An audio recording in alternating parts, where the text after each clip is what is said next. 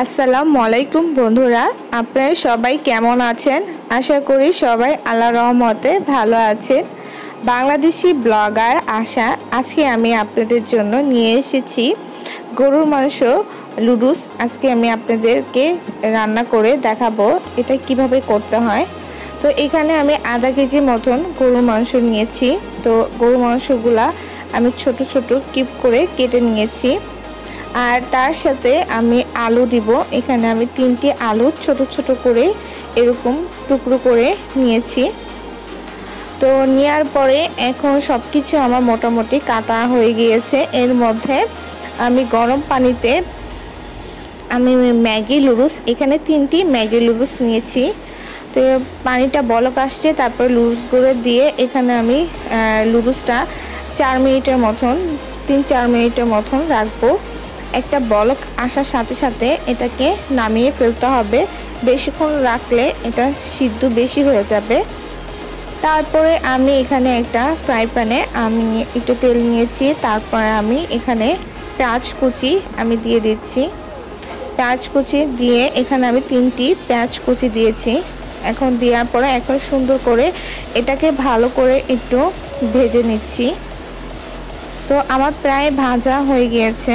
এর মধ্যে আমি একটু স্বাদ মতন একটু লবণ দিয়ে দিয়েছি।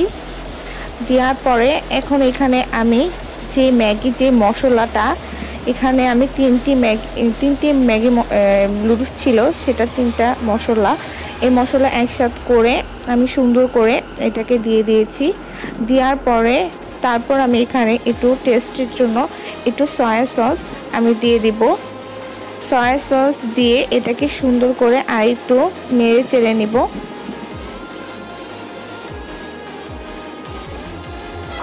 নেড়ে চেড়ে পরে তারপর যে আমি মাংসগুলা, গরুর মাংসগুলো ছোট করে কেটে রেখেছিলাম, এই মাংসগুলো ধুয়ে এখন আমি দিয়ে দিয়েছি।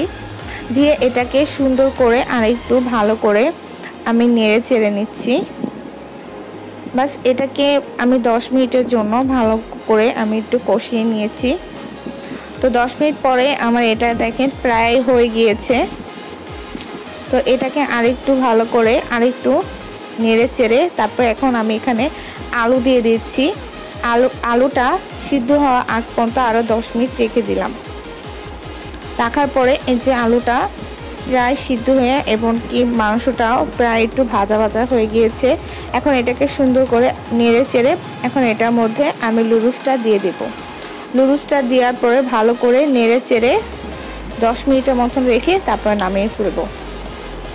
তো আশা করি বিয়স, আমার আজকে এই গরু মাংসের লুডুস রান্নাটা আপনাদের কাছে ভালো লেগেছে। আর আপনাদের কাছে এই লুডুস রান্নাটা যদি ভালো লেগে থাকে, তাহলে আমার চ্যানেলটিকে সাবস্ক্রাইব করবেন, লাইক দিবেন এবং কমেন্ট করে জানাবেন। নতুন নতুন রেসিপি, আবার নতুন কিছু নিয়ে আবার হাজির হব। আল্লাহ হাফেজ।